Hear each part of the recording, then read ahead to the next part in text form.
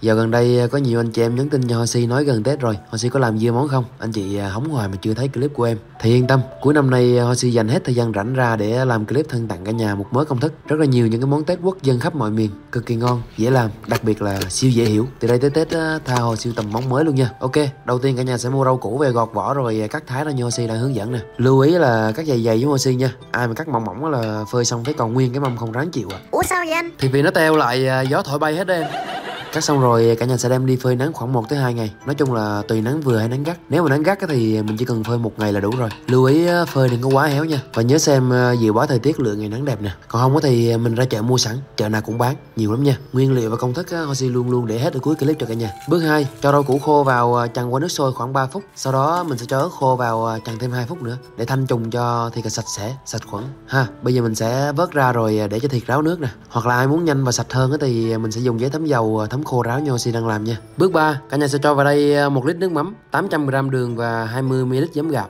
Dùng vá khuấy đều tay lên cho hòa tan hỗn hợp. Nước sôi lên rồi à, mình sẽ vớt sạch bọt ra. Đó, vớt sạch bọt để nước mắm của mình trong sẽ trong suốt và ngon hơn nha. Vớt xong rồi à, mình sẽ cho vào đây thêm 300ml nước nữa là xong. Wow, màu mắm đẹp chưa nè. Bước 4, rau củ khô ráo rồi mình sẽ cho hành tím và củ kiệu lột sẵn vào. Hành tím và củ kiệu à, cả nhà khỏi cần phơi luôn cũng được nha, hoặc là chỉ cần à, phơi một nắng thôi là được. Bây giờ mình sẽ cho vào hũ và chế nước mắm đã nguội vào à, là ok. Quá đơn giản. Bước 5 đối với Hoshi với là cái bước quan trọng nhất. Cả nhà chờ Hoshi xíu ha. Làm xong mình sẽ để ở ngoài khoảng một ngày. Sau đó cho vào tủ mát khoảng 2 ngày sau là có thể thưởng thức ngon lành rồi nè. Rau củ phơi khô trước khi ngâm như thế này thì sẽ để được lâu hơn gấp nhiều lần những cái loại rau củ không được phơi hoặc là sấy nha. Bước 5, cả nhà biết bước gì mà quan trọng nhất không nè? Đó chính là bước gấp và thưởng thức thôi.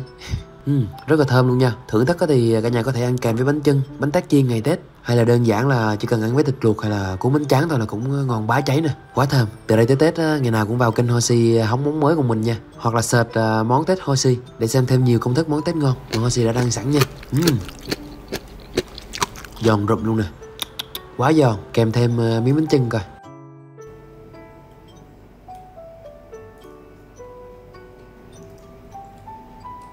Uhm, ok. Chúc cả nhà thành công nha. Toàn bộ danh sách nguyên liệu để cả nhà đi chợ Đặc biệt là những cái loại gia vị dụng cụ mà Hoshi tin dùng mà cả nhà thường hay thắc mắc nhắn tin hỏi Hoshi á Mình cũng sẽ để thông tin tìm hiểu ở đây cho cả nhà luôn ha À đừng quên like, share, đặc biệt là bấm theo dõi trang để đón xem những tập tiếp theo nha Hẹn gặp lại